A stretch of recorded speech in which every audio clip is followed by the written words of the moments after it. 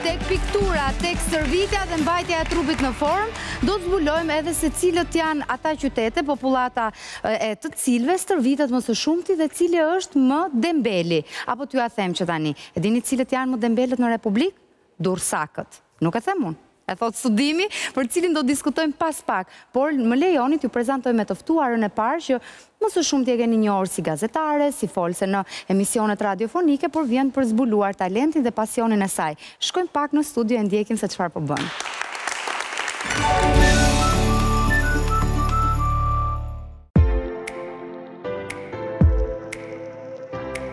Mirë se erdhët në strehëzën time në Jerart ku unë merrem me pasionin tim sa herë që gjej kohë.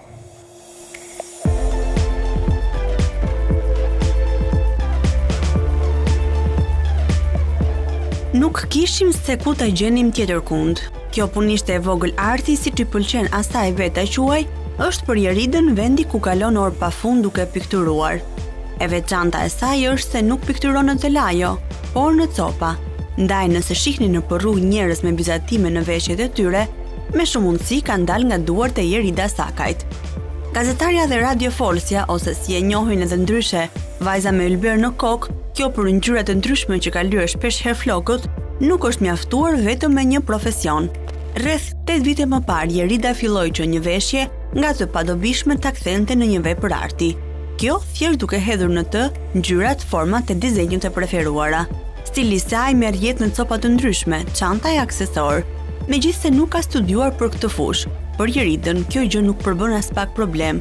Ishte e vogël kur nisi të pikturonte me lapostila, por kënaqësinë më të madhe e mori kur zbuloi bojëra tekstile, të cilat kanë jetëgjatësi mbi veshje. Jerida vetë nuk del asnjëherë pa diçka të personalizuar nga shtëpia. I pëlqen të duket unike dhe të pikturuarit mbi veshje duket se e ka ndihmuar edhe në këtë aspekt. Aq shumë i pëlqen kjo gjë saqë edhe studion e ka arreduar vetë. dhe në çdo detaj dallohet prekja e veçantë e Jerida Sakajt.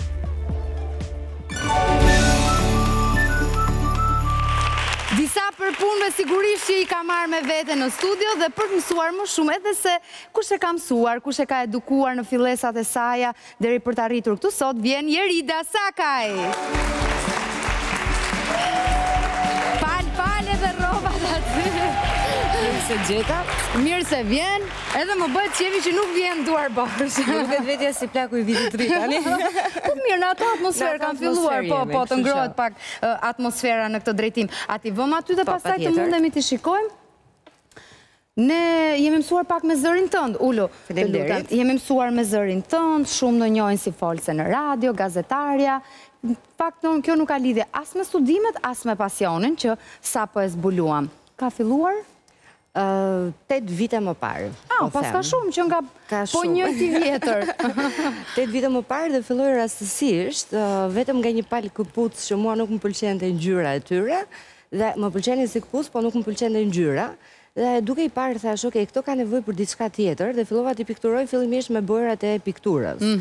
Dhe dolën lezetshëm dhe që nga ajo fillova pastaj m'u kthye si mani që çdo gjë që kisha në shtëpi dhe sidomos bluzat apo veshjet e bardha filloja t'i shikoja si telajo të mëdhaja dhe thosha gjithmonë ka nevojë për ngjyra. Dhe fillova të eksperimentoj me garderobën time dhe ideja ishte të ricikloja veshjet, sepse shpeshherë ne kemi Shumë rroba në dollapin tonë, edhe që pjesa më e madhe nuk vishen, por ti e sheh aty dhe thua hë se do e vesh, e ruan. Dhe në një moment kur ti nuk e ke përdorur më atë veshje, unë mendova që t'i jap një jetë të dytë. Ta bëj më interesante për veten time, por që edhe të më tërhiqte dhe ta vishja më shpesh. Po përpara kësaj paska qenë piktura, pra se ti the, domethënë që ekzistonin ato mjetet. Po, ekzistonin mjetet, kisha përpjekje të të vogla, jo serioze, po mhm. them të pikturës, që merresha herë pas here, por jo seriozisht, pasi që nga ai moment fillova që ta ushtroja pikturën çdo ditë jetës time. Mm, dhe në këtë mënyrë ti je bërë një vajzë nikoqire, mund ta themi me pak fjalë dhe me plot gojën. Domethënë, përveçse i jep jetë, nuk lë asgjë që të shkojë dëm, mm, përpiqem, të paktën përpiqem që të jap jetë tjetër dhe jetë të re. Tani gjithçka që ti që ti vesh duhet ta transformosh? Tani po, dhe kjo që kam veshur është piktura që kam mbaruar dje në fakt, kështu që është e re. Qenka bërë posaçërisht, ë? Është posaçërisht. Tani këto bojëra që përdoren tek veshjet janë bojëra të caktuara që ti dhe në qoftë se e lan në lavatriçe apo me dorë nuk ikin apo? Këto s'lahen më. Këto lahen, jo. Kjo është e mira e të marrit me një gjë seriozisht, sepse ti fillon dhe eksploron një botë që nuk e ke njohur më hmm. përpara. Nëse pikturat e para në veshje, unë i bëja me bojëra që nuk ishin të përshtatshme, që ti e laje rrobën dhe pastaj ajo ikte dhe unë duhet ta rivizatoja edhe një herë për ta pasur ndryshe, Tani kam zbuluar prej tetë vitesh bojën e tekstilit, jo se e kam zbuluar unë si një gjë që nuk ekzistonte. Po ti e në përdorimin tënd. Ajo ekzistonte, por thjesht unë nuk isha e informuar në këtë pjesë, derisa e zbulova dhe pastaj fillova ta përdor atë. Dhe boja e tekstilit është një mrekulli më vete, sepse ti vizaton Dhe kur lahet veshja pastaj, atëherë ajo është aty, nuk zhduket. Ka vetëm një kusht të vogël që duhet të jetë deri në dyzet gradë, jo më shumë. Jo më shumë se pastaj. Po ndërkohë që ti, se po mundohem të imagjinoj procesin, ndërkohë që ti vizaton dhe bën diçka gabim, si korrigjohet? E kjo është që duhet të kesh shumë kujdes kur bën vizatime në veshje, sepse nuk është si telajo. Në telajo ti mund të bësh gabime dhe pastaj t'i korrigjosh ato, e ke këtë luks, Në veshje është pak më duhet të tregohesh më e kujdesshme dhe është puna shumë e gjatë, nuk është një punë që bëhet me shkop magjik për 5 minuta, është një punë që kërkon edhe orë, mund të mhm. kërkojë edhe ditë të tëra. Unë e vizatoj fillimisht me laps, bëj një skicë po. paraprake, pra duhet të jesh shumë e saktë. Që të minimizosh mundësinë e gabimeve. Pastaj nëse gabime ndodhin, pastaj duhet fillosh dhe të bëhesh pak kreative që të mbulosh gabimin që ke bërë. Mhm. Por kjo vjen me kalimin e kohës, ëh, nuk është se ti bëhesh eksperte që në momentin e parë. Normalisht, por në tetë vite. Duhet të gabosh që të mësosh pastaj se si të bësh rregullimet. Gabimi më i madh që ke bërë, që mund të kesh çuar diçka dëm dhe mund të ketë patur edhe vlerë. E kam hedhur veshjen. E qartë, po cili ka qenë?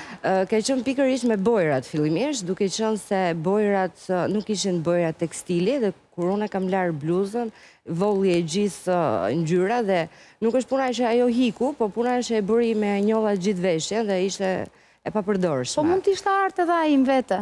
Talent i shprehur nga lavatriçja. Nuk dukej dhe aq bukur. bukur. Domethënë gabime kanë ndodhur të kësaj natyre që nuk ka dalë ai vizatim që unë kam dashur, po pastaj kam sajuar një gjë tjetër për të mbuluar gabimin tim. Kështu që kjo është një punë shumë e gjatë Është një punë që do durim, nuk është një gjë që bëhet menjëherë, por në fund fare ia del edhe mund të bësh eksperimente nga më të ndryshmet, sepse ta lejon kjo lloj gjëje që duke qenë handmade, duke qenë një punë dore, ti mund të bësh eksperimente nga më të ndryshmet, duke e filluar me mhm. gjërat e vogla derisa të arrish pastaj në vizatime të mirëfillta. Ti të gjitha këto punë të tua i ke ruajtur?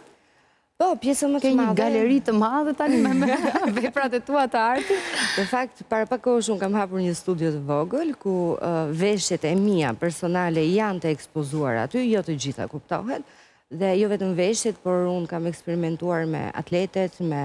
Po, nga puthet e kishe nisur, po, kështu që... që në studion time modeste, të mhm. vogël, mund të shohësh edhe pikturat, pastaj edhe telajot, jo vetëm veshje dhe çanta, por edhe telajo piktura të mirëfillta. Po, këto që ke sjellë tani në studio, na i prezanto pak çfarë Këto janë një pjesë e punës, dhe më shumë për t'i parë edhe nga afër, është një t-shirt i thjeshtë, i bardhë, dhe është bërë vizatimi sipër t-shirtit. Kam filluar të bëj pak mesazhe në gjërat e fundit. Po pra, insert brain here. Ndoshta mesazhe për ata që i shohin. Mesazhet që mua më pëlqejnë ose mesazhet që unë dua t'i kem dhe të jenë të ruajtura aty. Këtu jemi me Simpsonat. Me Simpson, po. Personazhe të preferuara edhe të për brezin tonë. E vërtetë. Mhm. Tani këtë tishërtin edhe po e lamë, nuk na e gjen gjë. Është larë disa herë sepse kjo është e imja personale, nuk është në shitje apo nuk është. Ëh, është larë disa herë dhe nuk ka ndodhur asnjë gjë, kështu që Për këtë jep siguri maksimale nëse tregon kujdes, ë. E qartë. E gjitha është tek temperatura, se nëse ti e la në nëntëdhjetë gradë, pastaj kuptohet edhe një stamp me kalimin e kohës, po u la në nëntëdhjetë gradë do fillojë dhe do prishet. Sa orë të ka marrë ty ky vizatim? Ëh, nuk e mbaj mend, por di që kam filluar në darkë të punoj dhe më ka marrë deri në orën pesë të mëngjesit. Aha, se kur i hyn ti kështu pastaj zhytesh e tëra. Po, ndonjëherë e harron edhe sensin e kohës, nuk e kupton më Sa është ora, nuk e kupton më çfarë dite është. Dhe kjo është e bukura edhe edhe lodhëse, po është e bukur në fund fundit sepse unë e shijoj këtë pjesë. Ti punon me tre turne i bie? Po, teknikisht me tre turne ndonjëherë harroj edhe të ha, edhe të flesh. ia kam marrë dorën kësaj pjese, kam probleme me pagjumësinë. Mm -hmm, kështu që e mbush me, e kalon bukur me, me gjithë këtë krijimtari tënden. Më tej aty janë... Se ky është një fustan veror, mm -hmm. Është thjesht me forma të papërcaktuara dhe thjesht me ngjyra. E ke qejf ti pak, ë janë në në stilin tënd këto. Janë në stilin tim. Mm -hmm. Prandaj kam marrë disa variante të ndryshme, nga më të thjeshtat edhe më të stilizuarat, po them. Kjo është një gjë shumë e thjeshtë dhe Po ti edhe fustanin e ke qepur vetë tani? Jo, jo, e pra, okay. Do ishte shumë bukur që të arrija dhe t'i qepja. Po, të shoh që në atë rrugë. Po, avash, avash, nuk i dihet asnjëherë. Pastaj, xhinset besoj që duhet jenë pak më të thjeshta. Apo jo? Jo, shiko. Sepse fakti që është rrobë e trashë të jep më tepër mundësi për... Jo, sepse ndryshon edhe xhinsi nga nga materiali vetë, nga njëra xhins tek tjetri ndryshon, se njëra mund të jetë më e hollë, tjetra mund të jetë po. më e plotë, diku thith më tepër bojë, diku më pak. Kështu që ndryshon edhe copa, jo vetëm xhinsi,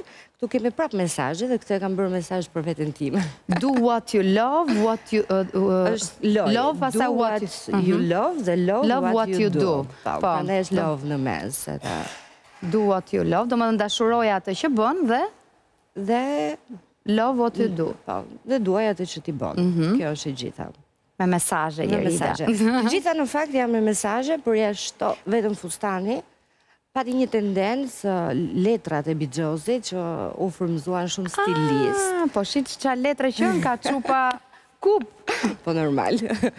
Tani duhet të bëjë dhe mbretin diku tjetër, po duke mhm. para duke bërë. Ti e çupa kupë, domethënë Po të ngece ti në dorë, iku. Pastaj në lidhje me aksesorët, mhm. ka një gjë, nuk merrem seriozisht me aksesorët, se ndonjëherë më pyesin njerëzit edhe Jo, pse për shembull këto që ke varet tani te te syzet e tua, besoj që vetë i ke. Jo, këto nuk i kam bërë. Nuk i ke bërë vetë. Janë të gatshme, por aksesorët që mund të bëj unë, Për shembull, në lidhje me fustanin, filloj dhe krijoj me gjërat që kam në shtëpi, letrat e bixhozit. Po, edhe e ke kombinuar çupën.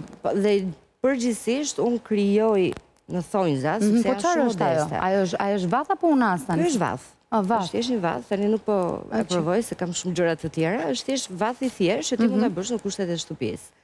Mjafton të kesh letrat e bixhozit, mjafton të kesh një gjitës të mirë dhe pastaj aksesori për të vendosur vathi dhe asnjë gjë më tepër. Kërkon shumë pak kohë dhe është më shumë të krijosh me gjërat që ke dhe të argëtohesh duke i bërë gjërat, sepse janë gjëra shumë të thjeshta, po thjesht duhet të krijosh, duhet të jesh kreativ. Një gjë tjetër për shembull që ia kanë vjedhur sime mëme nga makina e saj qepse, janë bobinat e famshme që vendoset peu. Po, aha. Unë kam marrë dy të tilla dhe i kam krijuar vath. Edhe atë i ke bërë vath.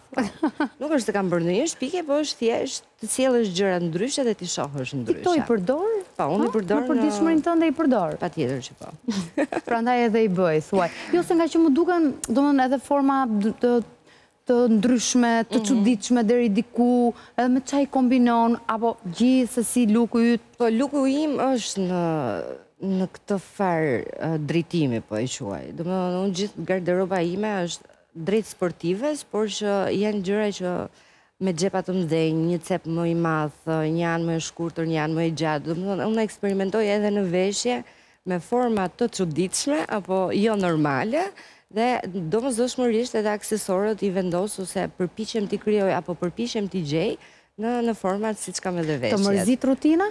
Domethënë njihesh si vajza që flokët i i ke kaluar gjithë ngjyrat e ylberit. Të gjitha. Edhe në veshje dhe duket sikur e gjitha kjo është kohe, domethënë je në koherencën tënde, do ndryshimin, do ngjyrat, larmishmërinë. Më pëlqejnë shumë ngjyrat dhe ndoshta Ky është edhe kurthi që ndodh midis meje dhe ngjyrave. Nga që më pëlqejnë ngjyrat dhe kjo më bën që të eksperimentoj edhe tek veshjet apo në luk dhe më pëlqen të jem ndryshe gjithë kohës. Kështu që prandaj provoj dhe guxoj. Pastaj kur e shoh që nuk shkon, filloj dhe rikthehem tek luku i vjetër, është normale. Studimet për fizik. Po. Eksperiencë e gjatë në si gazetare, folse në radio, nga ana tjetër ky pasion, cili është profesioni yt? Se flasim për pasione, studime, për profesion, kur të pyesim ti, ku ndihesh më mirë? Gazetaria, duke qenë se kam investuar shumë ka radio, mhm. jam fokusuar shumë vite tek radio, jam duke u marrë me radio, kështu që Mbetet e para, ajo mbetet si profesion, po. Pastaj gjithë përpjekjet e tjera janë hobi, pasione, por që një ditë të bukur mund të kthehen edhe ato në në profesion, nuk i dihet mhm. asnjëherë. Për shembull mund të ketë së shpejti një ekspozitë tënden apo Në fakt deri tani unë kam bërë dy ekspozita, po mendoj të bëj të tretën dhe dua që të vij pak ndryshe. Nëse në ekspozitat e tjera nuk ka pasur një tematikë specifike, Po ka qenë thjesht thjesht të ekspozuara, ka qenë më tepër si sfilatë sesa si ekspozitë e mirëfilltë. Këtë herë po e mendoj mirë dhe dua të vij në një formë totalisht ndryshe. Nuk dua ta tregoj akoma, mm -hmm. jam në punë e sipër, dua të po përpiqem të gjej një tematikë dhe Jam midis dy dilemave dhe duhet të ndaj pjesën e dilemave, se po e zgjidha këto, që cilën linjë do zgjedh. Po hajde t'i hedhim publikisht, t'i diskutojmë, mbase të japim dhe ne një mendje. Më tërheq shumë pjesa e motiveve shqiptare, sepse veshjet popullore shqiptare kanë motive të jashtëzakonshme dhe jam shumë e tërhequr në këtë pjesë. Pastaj kam edhe një temë shumë për zemër që është gruaja dhe dua të sjell imazhin e saj siç e shoh unë në ambientin që ne jetojmë. Duke i marrë të gjitha ngjyrat, jo vetëm një. Mhm. Po, shiko tani, mendimi im, mhm. si, si dëgjues, ndërsa po flisje, nuk mund të rrinë këto të dyja bashkë? Mund të rrinë të dyja. Dhe këtë po Gruaja me këto veshjet dhe motivet popullore, tradicionale tona. Rrinë dhe rrinë shumë mirë të dyja dhe po mundohem të bëj një lidhje të të dyjave, por siç e shoh unë. Do ketë elemente motive popullore të veshjeve, por të sjella në një version tjetër. Hmm, dhe ja. po përpiqem që të bëj dhe ndërthurjen jo vetëm në veshje, por edhe në telajo. Dhe në telajo dua të sjell pikturë dhe kompozim në të njëjtën kohë edhe Edhe kaq, po e lë surprizë. Mirë, kaq, kaq na duhet. Është projekt. Është projekt, projekt i 2020-s. Po, besoj që të jetë së shpejti, dhe nëse gjërat ecin siç duhet, sepse çdo gjë do kohën e vet. Dhe unë e kam parashtruar që dua këtë herë të bëhet ashtu siç e kam unë të parafytyruar dhe dua që të çdo gjë të ecë në atë lloj forme. Po do ecë, në qoftë se ti do ashtu do të shkojë. Në këtë përditshmërinë tënde të ngarkuar ndonjëherë me tre turne siç e thamë, gjen kohë për t'u stërvitur ndopak? Për të shkuar në palestër, aktuale është ecja. Unë eci shumë dhe kam edhe si terapi në fakt. Nëse ndihem e lodhur psikologjikisht, se njeriu nuk lodhet vetëm fizikisht, ndonjëherë lodhet psikologjikisht më tepër, ecja për mua është terapi mendore. Kështu që ecja është një gjë që unë e bëj përditë. Kam filluar me biçikletën, të t'i rikthehem pas shumë viteve, Por jam akoma në përpjekje fillestare te biçikleta. E kuptoj, me origjinë nga je? Jo nga Durrësi, i bie. Nuk je nga Durrësi. Është do t'jemi te studimi, Erida, sepse së bashku me mua do të qëndrojmë këtu, do të shkojmë në publicitet për të pritur dhe miqtë e tjerë për të vijuar me diskutimin e popullatave të qyteteve tona, se cilat stërviten më tepër, dembelët janë më durrsakët, flasim pas pak.